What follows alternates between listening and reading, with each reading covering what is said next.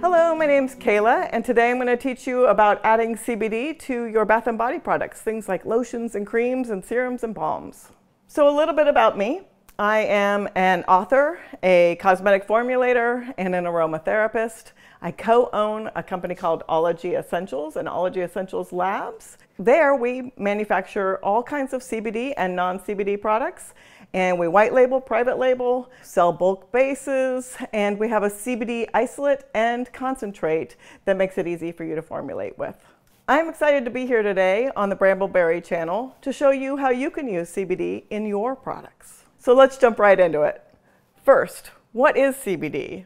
It's a chemical substance found in the cannabis plant, both the hemp and the marijuana plant. This kind of chemical is referred to as a cannabinoid. Cannabis plants produce over 85 different kinds of cannabinoids. Two of the most common known are THC and CBD.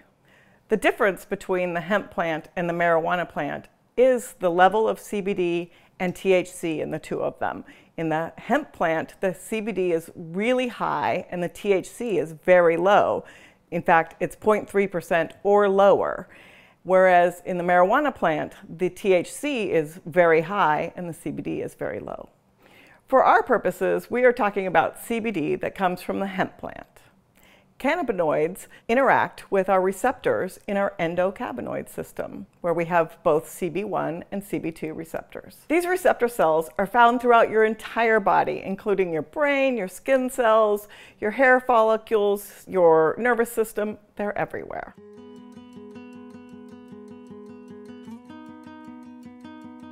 So why add CBD to your bath and body products? Hemp CBD is absorbed through the surface of the skin through topical application and interacts with nearby receptors. CBD has many different effects, but is well known for the calming and anti-inflammatory properties. Topical CBD products can be applied directly to areas of concern with lotions, creams, and more.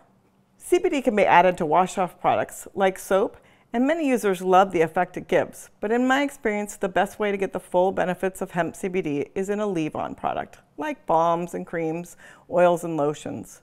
Another good option is to use CBD in bath products, like bath salts, bath bombs, and other soaking products. So you want to add CBD to your products, but you're feeling overwhelmed about how to choose the right one. There's a lot of noise in the CBD industry, with one company claiming that their product is superior to another. But I say the right CBD for you is the one that you will use. Let's review three of the most popular forms of CBD that you will encounter. First up, we have full spectrum. Full spectrum means that the material has all the cannabinoids, terpenes, plant material, and chlorophyll that was in the hemp plant. When formulating with full spectrum CBD, there needs to be a fat in your formula and a hot phase. Next, we have CBD isolate. Isolate contains only the isolated material, in this case, CBD. All the other cannabinoids, terpenes, and plant materials have been removed. A CBD isolate oil already has the CBD solubilized into a carrier oil. Also, you can buy CBD crystal, which is also fat soluble and will dissolve in alcohol as well. A third less common option is broad spectrum. This means that the THC has been removed from the product, but all of the cannabinoids, terpenes, and plant material, as well as the chlorophyll that was in the plant, are still intact. When sourcing CBD, look for companies that are transparent and readily share their certificate of analysis for their product. As a cosmetic formulator, I like using full spectrum for products that are going to be used all over the body. With full spectrum, there's a theory known as the entourage effect. This is the belief that different compounds in the cannabis plant work better synergetically together. Based on customer feedback, I support this theory. In facial products, I do like to use CBD isolate because a good number of the studies that were done for skincare were related just to the CBD compound. You may run into water-soluble CBD on the marketplace. I don't commonly use it because it is less transparent what is encapsulating the CBD.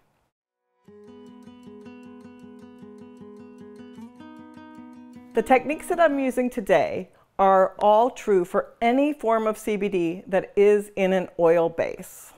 All CBD products on the market have different concentrations, so keep that in mind when you're doing your formulating. In these demos, I'm going to be using Ology Essentials CO2 CBD Full Spectrum Concentrate.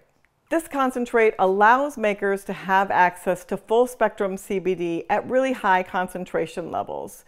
It is legal to ship across state lines and to be processed without any further licensing. Most likely, this will be more concentrated than what you find um, on the marketplace.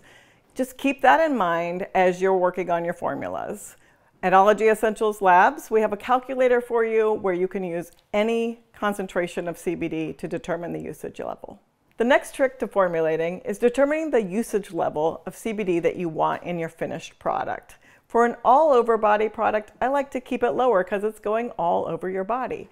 If you're doing a more concentrated pr product that's designed to be for a specific area, then I like to go more concentrated.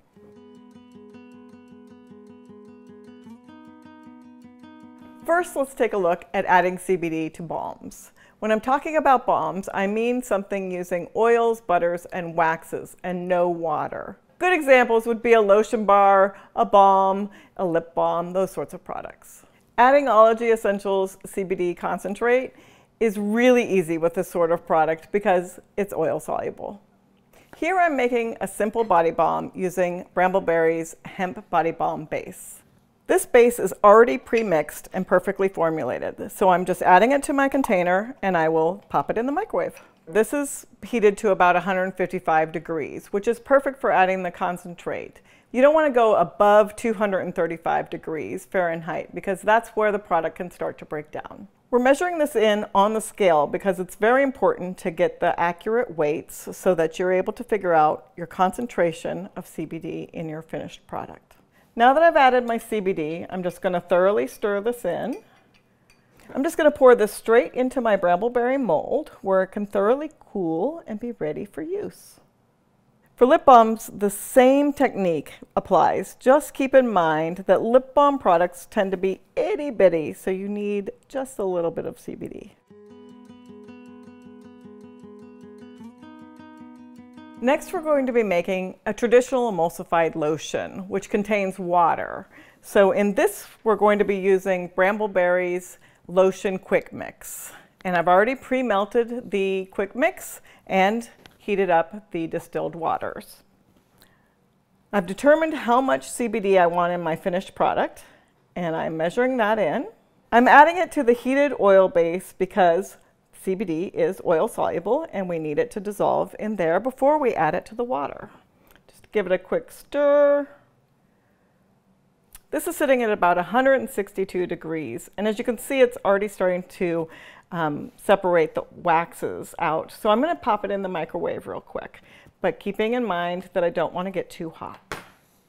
Now that this is heated up, we're ready to add it to the warm water.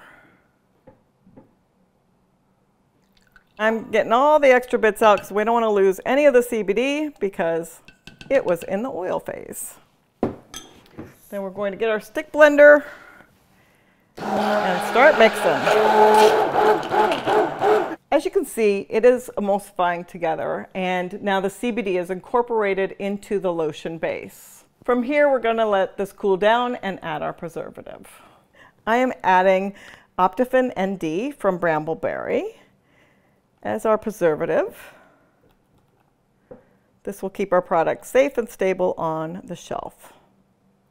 I'm going to stick blend that in and if I wanted to add any essential oils or fragrance oils, this is when I would do it as well.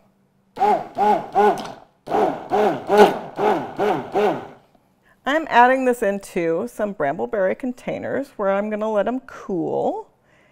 And then you would basically Determine how much CBD is in here based on the size of this container. These are approximately six ounces. So I would do my math from there.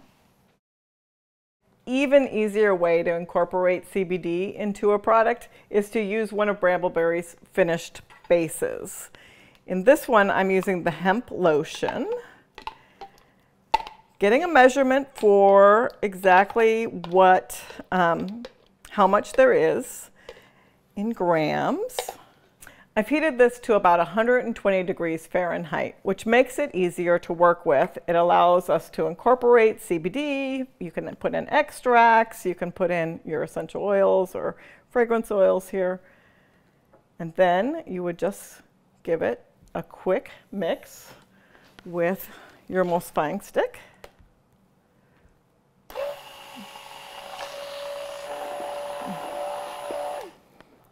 All right, easy peasy. And we are ready to fill this into our container.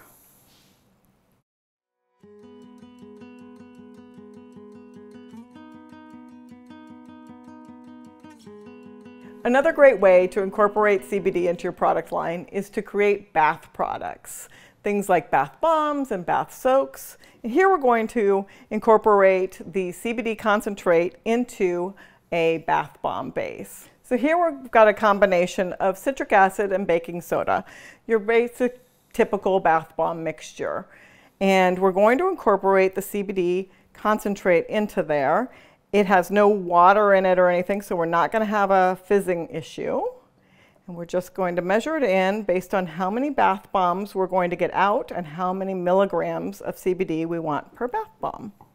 So here we've got the CBD in and our dry mixture and I'm going to incorporate it together using gloved hands. You could also use a stand mixer.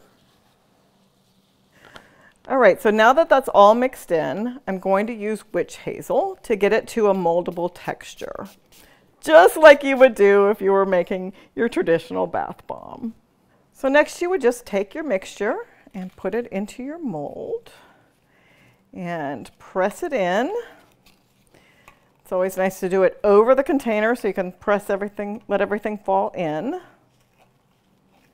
If you weren't making a bath bomb, you're just making a bath salt or a bath soak, you would do the same exact steps that I did earlier where you just mix the CBD concentrate into your base.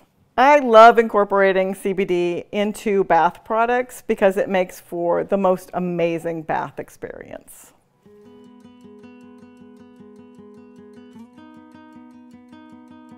Now you have an amazing CBD product and you want to sell it. There's a few things to consider. In the United States, topical use of hemp CBD firmly falls into the cosmetic section of the FDA.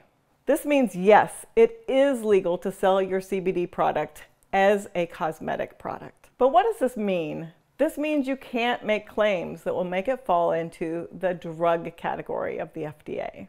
Some examples of what would convert your product from a cosmetic to a drug are calling a product a pain product, saying that it cures eczema, saying that it treats acne, things like that that change the body. You would be allowed to say that your product is a moisturizing lotion, but not a pain lotion. The FTC also has a say on claims, so make sure that you are aware of the rules of regulating bodies in whatever country you do business in. While your hemp CBD product may be the be all and end all of natural cures, you simply cannot make that claim because your intended use claims convert your product from a cosmetic to a drug. With hemp CBD products, you will want to add a new section to your front label that displays the milligrams per milliliter of the finished product. I highly recommend a QR code on the package that allows customers to review the certificate of analysis of the product. Full transparency gives customers more faith in your product in this industry. I hope this video gave you some confidence to use hemp CBD in your bath and beauty product formulas. I want to thank Brambleberry for having me in their studios to show you how to incorporate hemp CBD into your product lines. If you like this video, like and subscribe, and be sure to continue learning from the experts from Brambleberry.